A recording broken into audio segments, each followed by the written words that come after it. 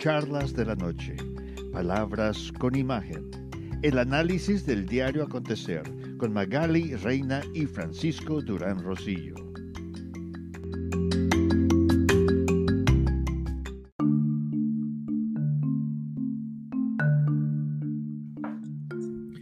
Mientras que el presidente Donald Trump llega a tener de tres a cuatro mítines multitudinarios en diversos estados de la Unión Americana en un solo día, su contendiente Joe Biden incluso hasta se llega a tomar algunos descansos de un día completo.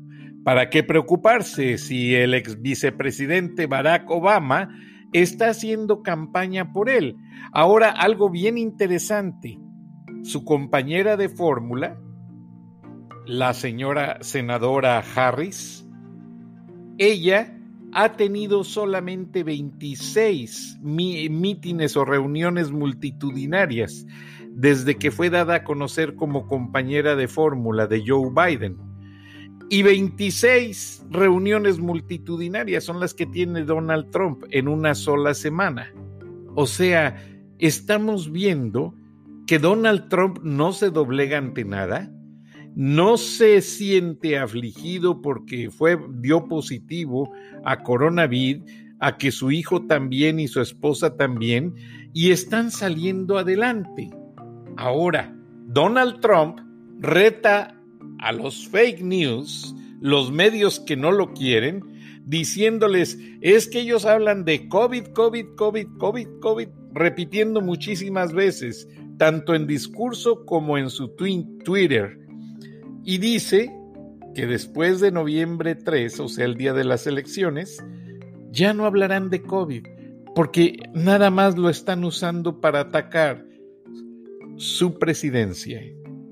Ahora, muchas empresas de los Estados Unidos van a pagar el próximo martes 3 de noviembre el día a todos los empleados sin que se presenten a trabajar. ¿Con qué motivo? Con que vayan a votar. Ahora, si los empleados ya votaron y comprueban, porque en Estados Unidos te dan una calcamonía una vez que votas para ponértela en el traje o traerla contigo. Si compruebas que ya votaste, puedes tomarte el día libre y no hay ningún problema.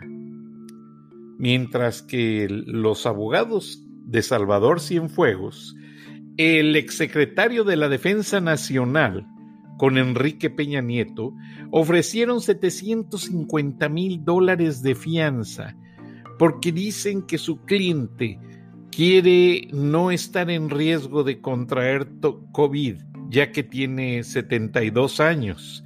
Además, él dice que no huiría a México, lo que quiere es limpiar su nombre.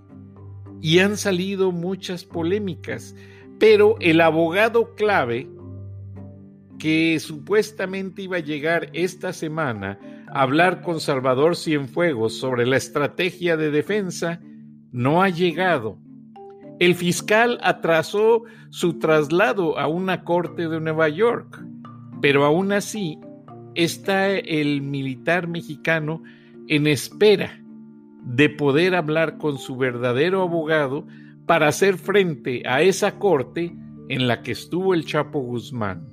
Buenas noches, Magali Reina. Bienvenida a Charlas de la Noche, Palabras con Imagen. Buenas noches, Frank.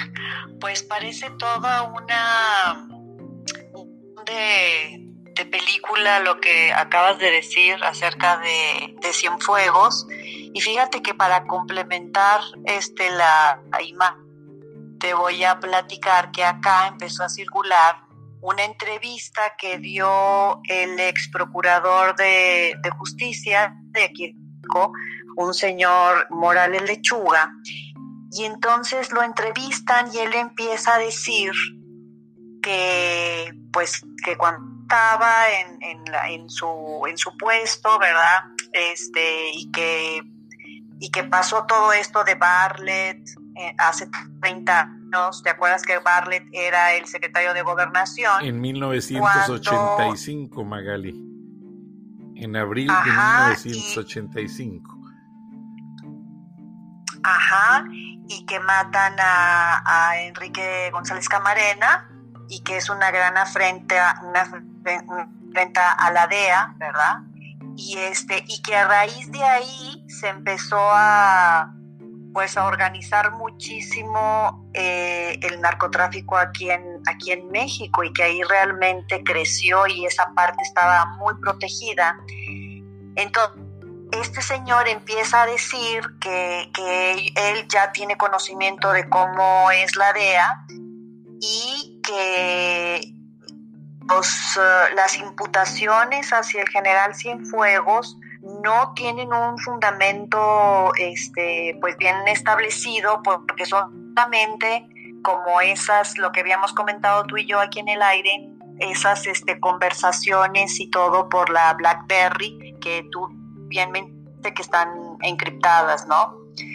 Entonces, fíjate, este eh, ex procurador en cierta forma como que quiere eh, justificar al, al, general Cienfuegos y en cierta forma dijo más o menos lo que también había Andrés López, de que ya ves que dijo en una mañanera, pues también habría que habría que investigar a la DEA, ¿no? O sea, algo así dijo que también habría que investigarlos a ellos y a ver si hacen las cosas, si están haciendo las cosas bien, como dudando de, de, este organismo de Estados Unidos.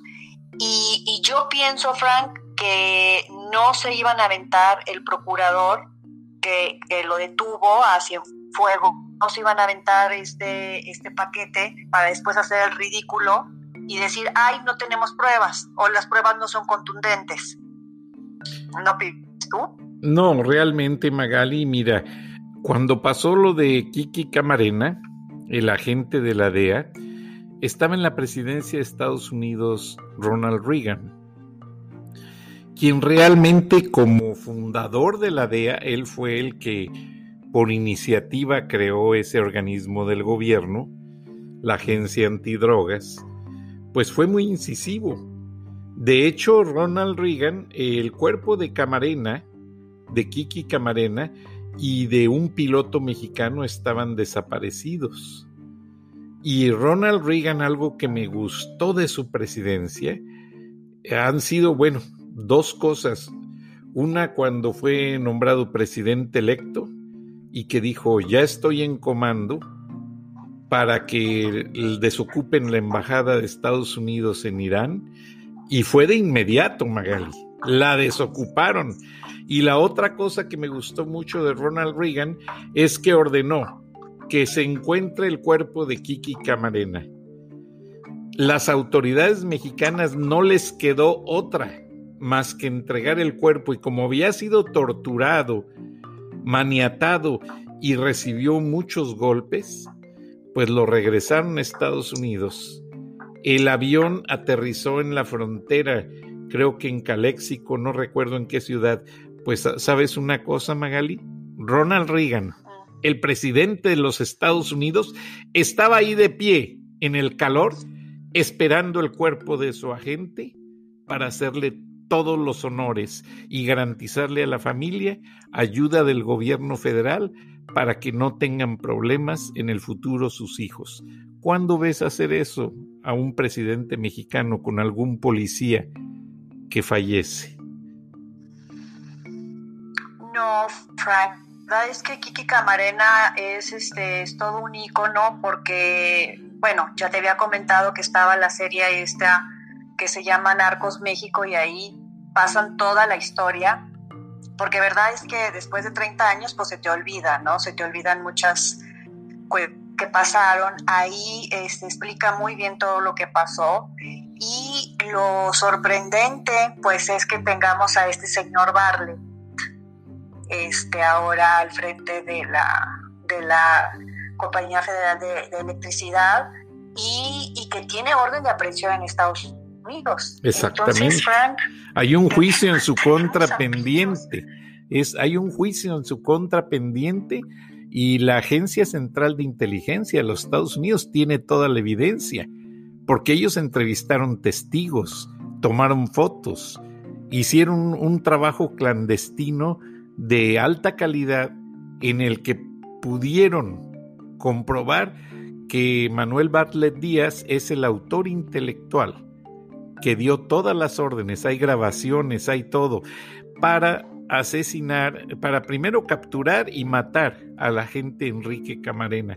Entonces, pues qué lástima que ahora Andrés Manuel López Obrador lo tenga como su mano derecha y le dé privilegios para seguir abusando del erario federal, para seguir abusando de los dineros del pueblo.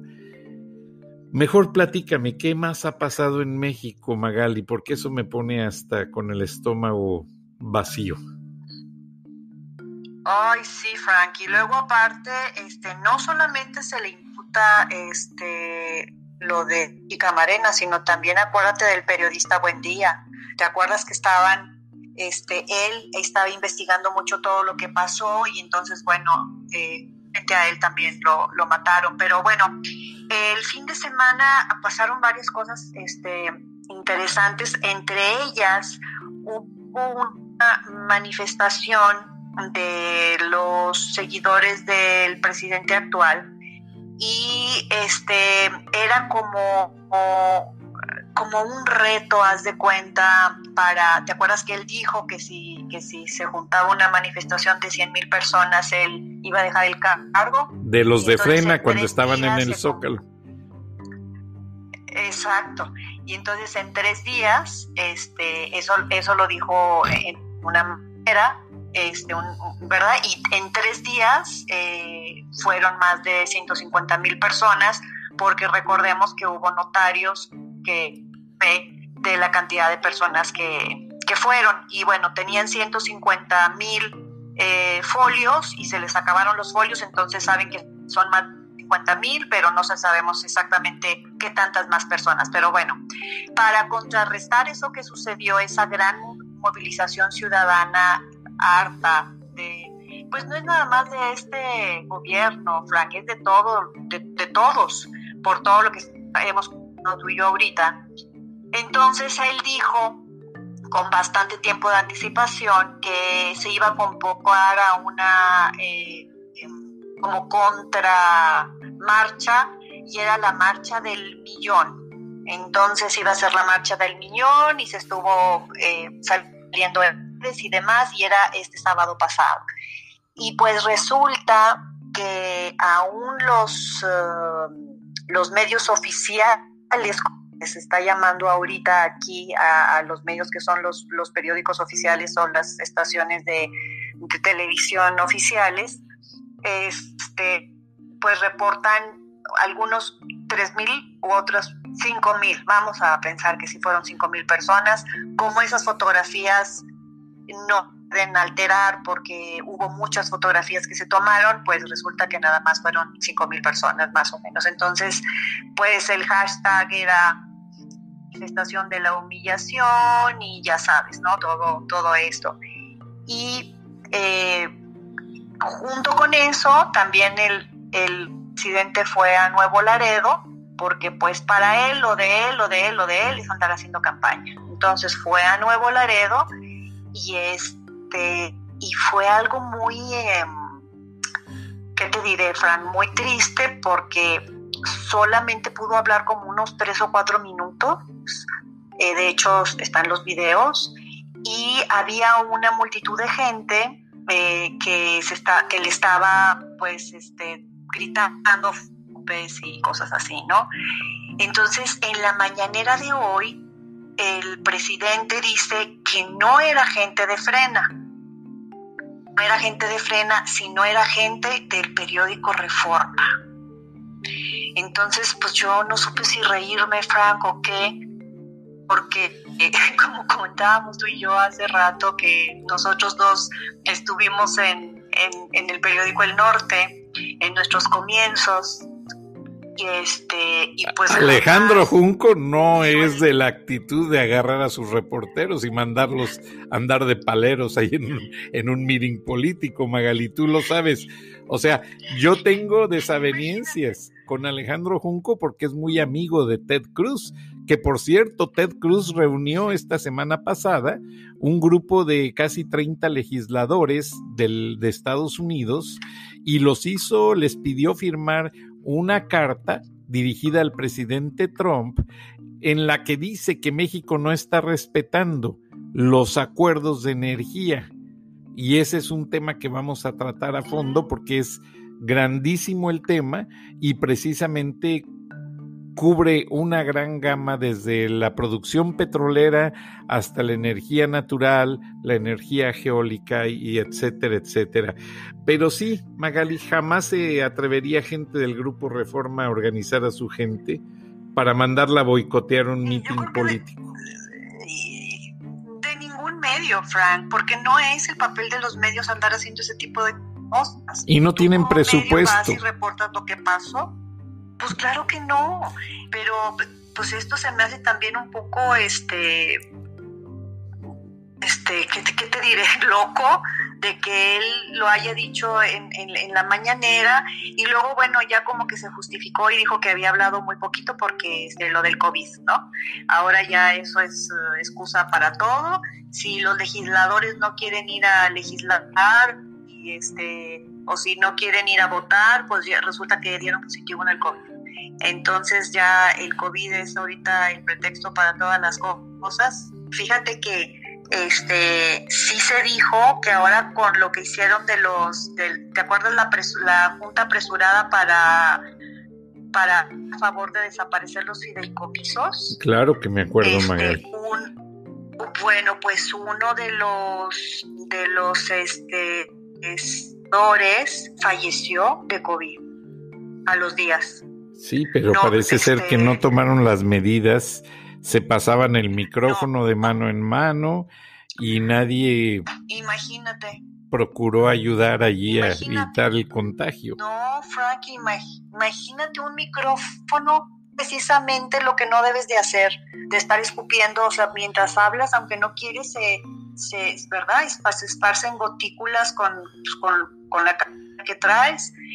Entonces, bueno, eso pasó, Frank, este, el fin de semana, esas dos cosas. Este, y, y, bueno, pues es lo que te puedo comentar de este lado. ¿Qué otra cosa dijimos que íbamos a comentar? Hay muchísimo, Magali, pero vamos a hacer, a escuchar el teaser de Joao Martínez con la reseña deportiva de la semana y regresamos en un minuto. ¿Qué te parece, Magali? ¿Estás de acuerdo? Perfecto, Frank. Ah, bueno, pues permíteme y aquí tenemos ya a Joao en la cabina, listo para darnos el, el teaser deportivo que él está muy emocionado porque pasaron varias cosas y ya se empieza a hablar de regresar a los estadios. Hola Joao, bienvenido. Continúa la Serie Mundial entre Los Ángeles y Tampa. Sorpresas en la NFL, se rompe récord en la Fórmula 1 y actividad en el fútbol mexicano y mundial. Los detalles poco más adelante. Gracias, Joao. Estaremos muy pendientes de escucharte. Pues Magali, la Fórmula 1 y todos los deportes, parece ser que aunque ha habido ciertos controles y han tratado, por ejemplo, con la Serie Mundial de Béisbol, han tratado de controlar los estadios al personal que está atendiendo a los jugadores y los, los estadios, pues tratan de mantenerlos en una burbuja. ¿eh? O sea, esa, esa gente no sale de hoteles asignados donde están ellos siendo checados constantemente para evitar la propagación del COVID-19. Ahora, Magali, pues realmente yo me quedé pensando mucho en este momento en que decías tú, lo del fallecimiento del senador de Morena. Creo que era un senador suplente porque el titular está de director del Canal 11 de televisión.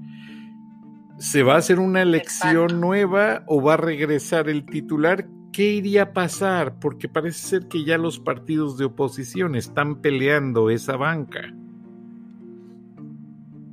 Están peleando todo, Frank La verdad es que no sé específicamente qué es lo que va a pasar con esa persona. Otros dos dieron positivo. Entonces fue la verdad algo muy lamentable porque se supone que en esos, en esos recintos y en todo lo oficial, pues ver las medidas este, sanitarias a como, a como deben de ser. Ay, Magali, si no cuidan al pueblo, ¿tú crees que se van a cuidar eh, en los recintos oficiales?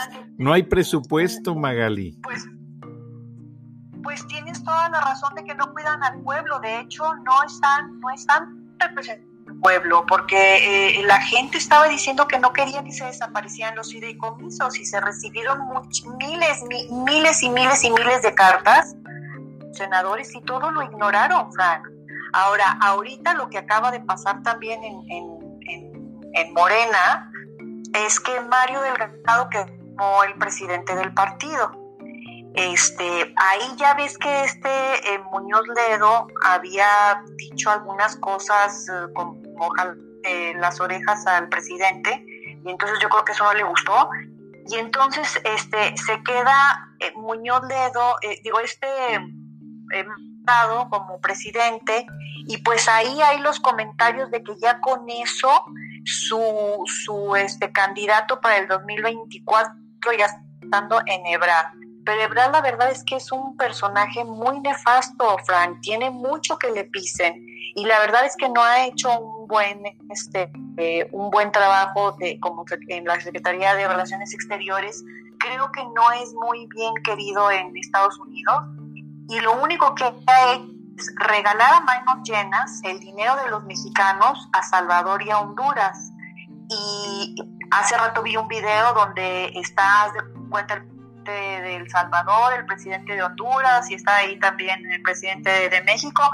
Y Ebrard está diciendo, como si fuera Santa Claus, va a dar a tanto a El Salvador como a Honduras, no sé qué tantos miles de millones, porque, y sin ninguna condición, lo dice así, sin ninguna condición, sin nada a cambio, y entonces se empieza como a reír el presidente de El Salvador para un niño que le están regalando una bicicleta Santa Claus que no hizo nada para merecérsela. Entonces e, es, es algo muy fatal, Frank, lo que está sucediendo. La verdad es que como dices tú hace rato que se te estaba entrincando la tripa con lo de con lo de con lo de Camarena, dije Camarena, la verdad que es bastante que a todos nos dolió muchísimo, pero esto también nos duele muchísimo. Y por otra parte, eh, la que, no sé si lo alcanzaste a escuchar el audio que te mandé de esas noticias, de esos vínculos de, de Biden con China, también te enchina la piel porque dices, pues en manos de quién estamos.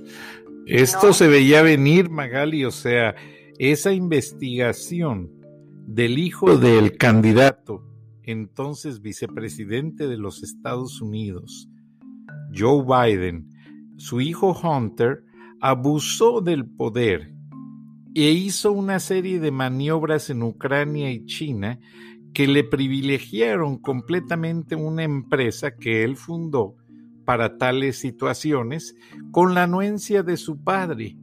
Y la investigación existía, pero no había evidencias.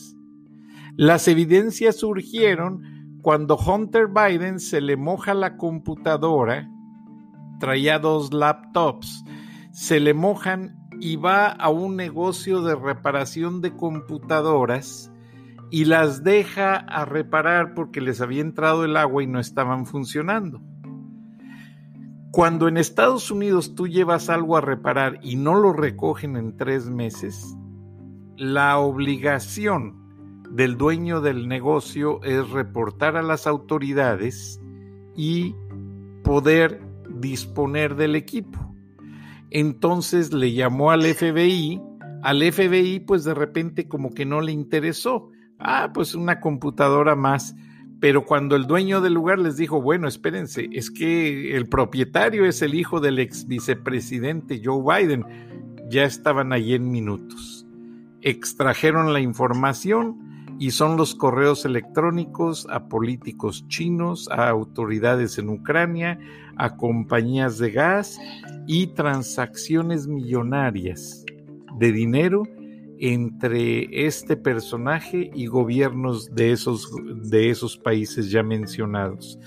Entonces, pues es muy triste porque lo sacan a una semana de la elección, la elección quizás la más importante en los últimos tiempos en los Estados Unidos, en las que se habla pues que el país está siendo realmente pues muy cuestionado por muchas cosas.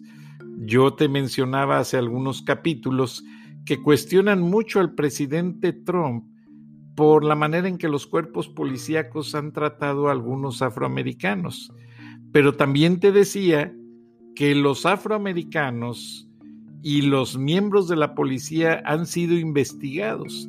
Por ejemplo, uno de los casos, el que destapó todo en Minnesota, eh, el de George, se me fue ahorita el apellido, pero ese hombre, cuando fue detenido, ajá, porque traía algo así, perdón, traía un billete aparentemente falso de 20 dólares. Los policías llegaron a checar porque el dueño de la tienda llamó. Ahora, el policía que llegó por coincidencia es un policía, el, el que estaba a cargo del operativo, un policía que trabajaba en sus horas libres checando la seguridad de un centro nocturno. Centro nocturno donde había tenido ya problemas con este afroamericano porque aparentemente él también era bouncer. Bouncer es un sacaborrachos. Eh, era bouncer en ese bar y había ciertos murmuros de que este hombre vendía droga dentro del antro. Entonces fueron muchas cosas.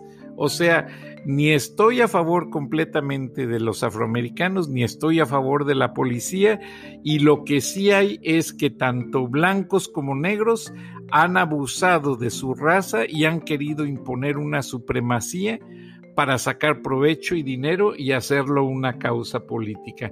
Eso es lo que está pasando. Y cada año los afroamericanos hablan con Oprah Winfrey, que es una conductora muy conocida de televisión, y vamos, se hace una película que te hace llorar sobre los derechos civiles. Y también los americanos hacen su película de los héroes de guerra y también te emocionan todo, te hacen llorar, pero no es más que una estira y afloja entre ellos. Por eso los americanos quieren, nos quieren mucho a los latinos, porque somos el medio tono que estamos realmente eh, catalizando ese ataque entre negro y blanco y estamos haciendo el tema cromático, el tema del blanco y negro con muchos medios tonos para que ya no haya eso. Nos quedan dos minutos, Magali, lamentablemente, y nos tenemos que ir a, con Joao Martínez para cerrar ya el programa. ¿Cómo quieres cerrar este segmento? Claro que sí, Frank. Pues, este, nuevamente te, diré que, este, sí, más descarbamos y más nos damos cuenta de que estas personas que están en el poder, eh, que deben de ser servidores públicos, la verdad es que necesitan de, de, todas las aportaciones de los, de, los impuestos de los contribuyentes y pues hay que como ciudadanos estar al pendiente y no dejarlos, o sea, es una estira y el floje constante, Frank. Entonces es lo que tenemos que hacer. Y pues buenas noches entonces. Bueno, estamos a ocho días de la elección presidencial y a estas alturas ya 60 millones de americanos han depositado su voto, incluido tu servidor. Y las casillas siguen abarrotadas. Ya nada más para que te des una idea, esos 60 millones de votos ya superaron el total de la gente que votó en el 2018. Entonces quiere decir que los resultados, perdón, eh, sí, en el 2018 o 2016, ¿no? Bueno, esto, en la última elección, esto quiere decir que, eh, que esto va a poner una, pues, una alta muestra de la democracia americana Ahora, eh, quieren hacer un, reconteo de los votos que llegan por correo y en eso está el estira y afloja porque se cree que podrían manejar muchos votos de gente que ya falleció. Por ejemplo, a mí me llegó una boleta para que mi esposa vote. Obviamente yo la destruí porque no se me hace ético. Pero mucha gente abusa y aprovecha esa maña, Magali. Pero vamos a escuchar a Joao Martínez y con esto cerramos el capítulo. Muchas gracias, Magali. Buenas noches y mañana tendremos un entrevistado de...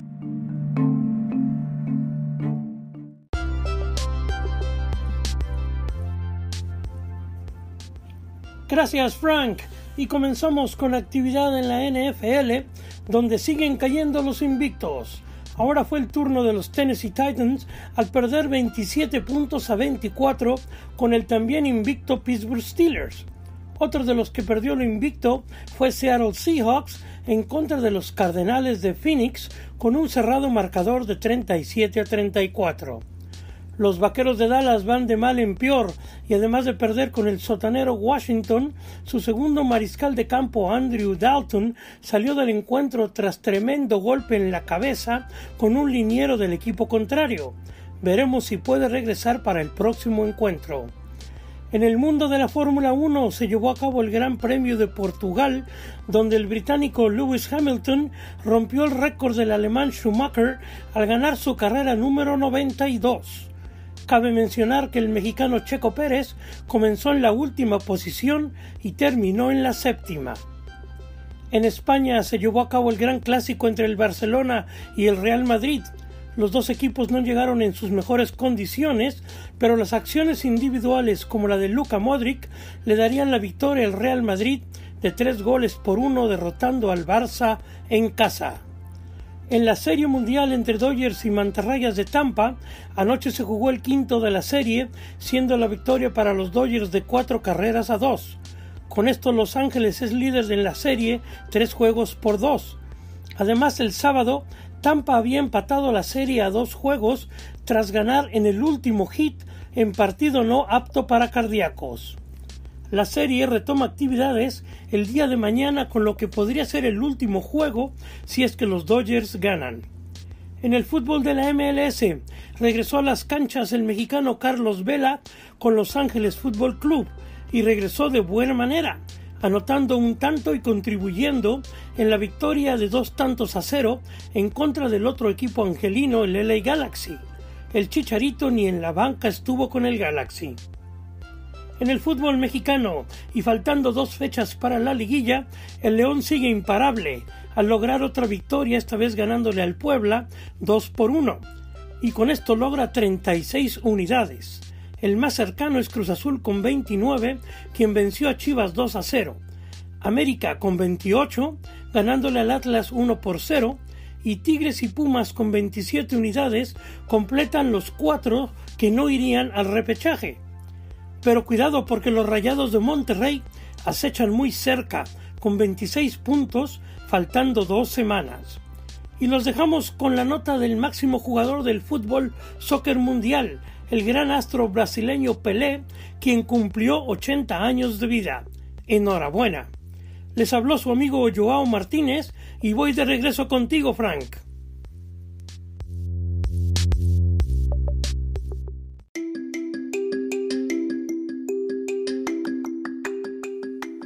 Escuchaste el análisis de la noticia, transparente como el agua, con los periodistas Magali Reina y Francisco Durán Rosillo.